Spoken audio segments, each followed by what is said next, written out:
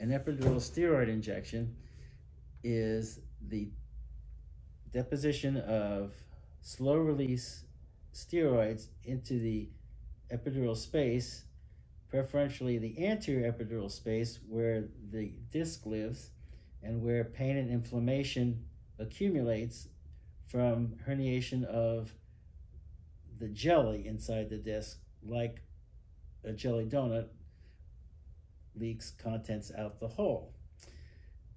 There are chemicals called prostaglandins that are produced that cause pain and swelling, and epidural steroids stop this enzymatic process, producing pain relief.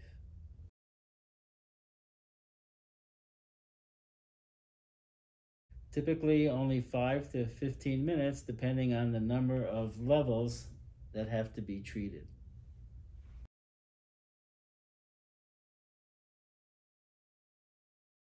Pain relief after an epidural steroid injection typically takes 48 to 72 hours for the anti-inflammatory effect of the steroid to take effect.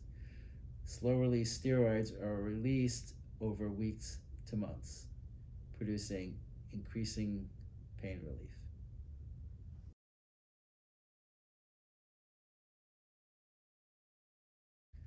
Clinical outcome studies have shown that a patient can have three to four epidural steroid injections in a year to avert any untoward clinical side effects from excessive steroid administration, such as osteoporosis, muscle atrophy, cataracts, or blood supply problems to the hip.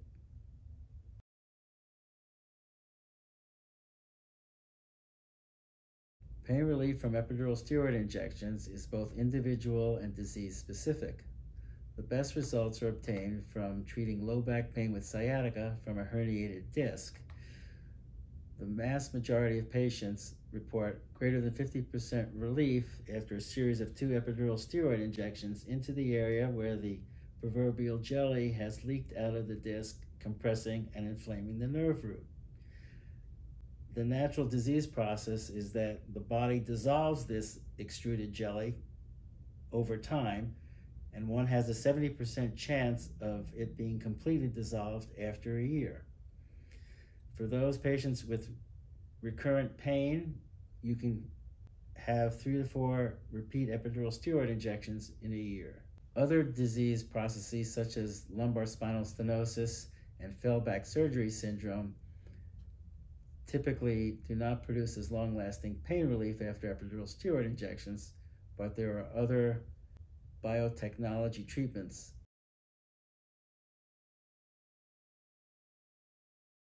Studies have shown that the total amount of steroids should be limited to 5 milligrams per kilogram body weight over the course of one year to avert unwanted side effects such as osteoporosis, cataracts, muscle atrophy, and blood supply problems to the hip joint.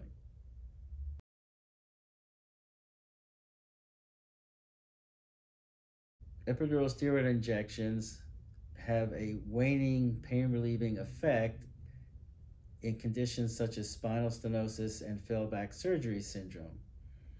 But there are other treatments we can afford you for these diseases at the Ramos Center such as the minimally invasive lumbar decompression, Superion stent placement, peripheral nerve stimulation, and spinal cord stimulation.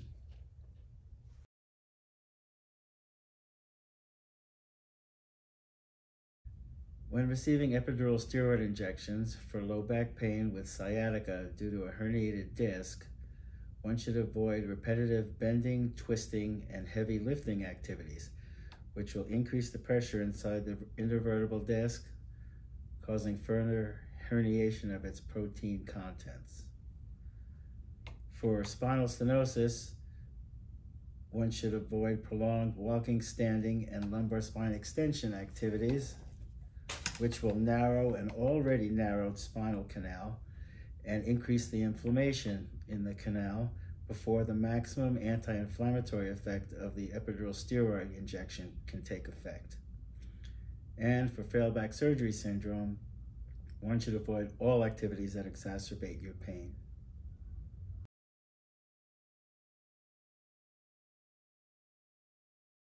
Multi-center clinical outcome studies have resulted in the development of an interventional pain treatment pyramid for your disease, be it low back pain with sciatica from a herniated disc, spinal stenosis, or failed back surgery syndrome.